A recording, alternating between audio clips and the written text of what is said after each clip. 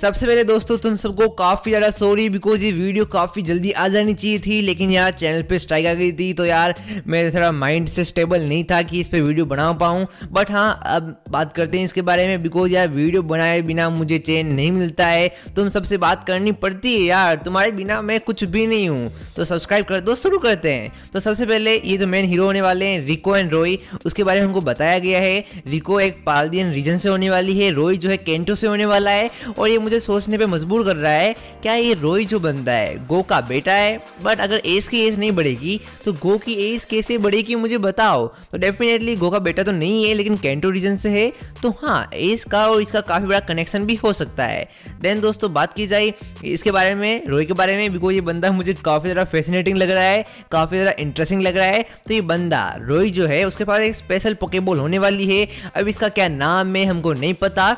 लेकिन चूँकि ये सीरीज़ जो है मतलब रेकॉर्डर से कनेक्टेड होने वाली है तो कहीं ना कहीं यार इसका कलर पैटर्न को देखा जाए तो यार साइनी रेकॉर्डर से कनेक्टेड है, और इसके ऊपर यार रेड डॉट एंड यार ब्लू डॉट भी है, चूँकि रेकॉर्डा वेदर ट्राई का मेंबर है, और ब्लू डॉट जो है रिप्रेजेंट कर रहा है यहाँ पे कायोग्रे को एंड हाँ रेड डॉट रिप्रेजेंट कर रहा है ग्राउडोन को प्राइमल ग्राउडोन को तो इसके अंदर ही पावर हो सकती है कि रेकॉर्डा को केच कर ले, या फिर जो हमको सीरीज़ में दिखाया गया रेकॉर्डा बाहर आ रहा है, इसी पोके से बाहर आ रहा हो, लेकिन इतनी जल्दी तो यार वो इस मिस्ट्री को सोल्व करने नहीं वाले तो डेफिनेटली इस पोकेबॉल का राज कुछ और होने वाला है। इसके ऊपर मैं एक सेपरेट वीडियो बनाकर तुम्हें बता दूँगा। लेकिन सबसे बड़ी बात यार, ये सीरीज़ कब स्टार्ट होगी? तो ये सीरीज़ जो है स्टार्ट होने वाली है फोर्टीन अप्रैल से, जो कि यार अच्छी बात है, लेकिन एज किस्म होगा। या फिर नहीं, ये तुम्हें पता चलेगा 24 मार्च को। ये सीरीज़ जो है, काफ़ी ज़्यादा इंटरेस्टिंग तो है ही है। साथ में यार, जिस तरीके से रोय के पास में ये सीक्रेट पोकीबॉल है उसी तरीके से इस लड़की लिको लिको के पास में एक पेंडेंट टाइप कुछ हो सकता है। ये पेंडेंट जो है कनेक्टेड हो थर्ड लेजेंडरी पोकेमोन से बिकॉज़ हाँ सिमिलरिटी हमको दिख रही है बट ऐसा भी हो सकता है कि भाई साहब ये कुछ और ही हो।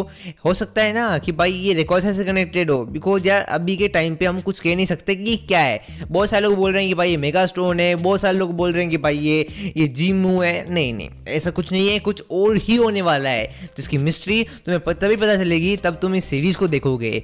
बट जहाँ तक मुझे लग रहा है कि सीरीज़ में जो एक्साइटमेंट फैक्टर होने वाला है, वो काफ़ी ज़्यादा होगा बिकॉज़ जिस तरीके से एक किस्म जोटो रीजन में गया बिकॉज़ ऑफ़ जी एस बोल उसी तरीके से हो सकता है रोहित जो है, चाहे पाल दिया रीजन में बिकॉज़ इस पोकेबॉल की मिस्ट्री सोल्व करनी होगी। ऐसा हमको दिखाया जा सकता है स्टार्टिंग में, रोहित जो है प्रोफेसरों की लेब में आए और उनको बोले, ये पोकेबॉल क्या है? लफड़ा क्या है? तो प्रोफेसरों को बोले, जाओ पाल दिया रीजन में और हमको यहाँ पे इस किस्म का केमियो भी देखने को मिल सकता है।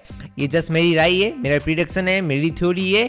पर दोस्तों, यहाँ पे एक और हमको हमको दिखाया गया है कि सीरीज़ जो है ना, होने वाली है एक घंटे की। मतलब जो पहला एपिसोड होगा, वो एक घंटे का स्पेशल एपिसोड होगा वन ओवर स्पेशल एपिसोड जो कि देखने में काफ़ी ज़्यादा इंटरेस्ट आएगा। अगर ये एपिसोड वर्क कर जाता है तो यही एपिसोड डिसाइड करेगा पोकेमोन का फ्यूचर बट अभी मैं इसके लिए एक्साइटेड हूँ, लेकिन इससे ज़्यादा एक्साइटेड हूँ मैं एस की एंडिंग को देखने के लिए.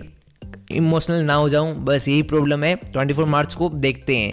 तो बस आज के लिए इतनी था. ब्रेकडाउन और भी है, लेकिन एग्ज़ाम के कारण वीडियो छोटी आ रही